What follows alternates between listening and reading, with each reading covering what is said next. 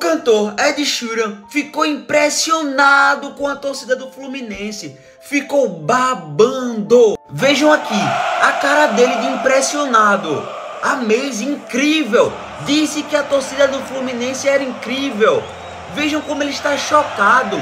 Nunca vi uma festa, uma torcida fazer uma festa desse jeito na sua vida. E nem adianta falar que, ah, gringo nunca assistiu futebol de verdade. Ele não é americano não, viu, que chama futebol de soccer. Ele é britânico.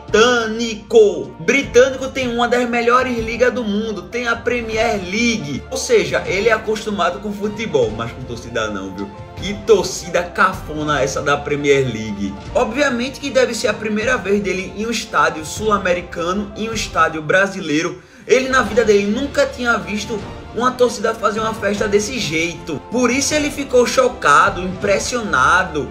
Ficou dizendo que a torcida do Fluminense era incrível.